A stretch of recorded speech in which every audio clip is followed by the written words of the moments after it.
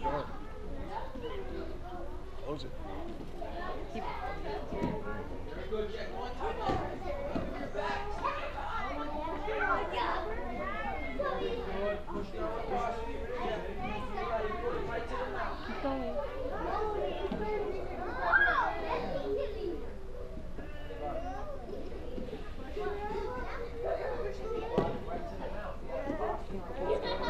going.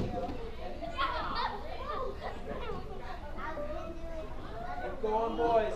Easy.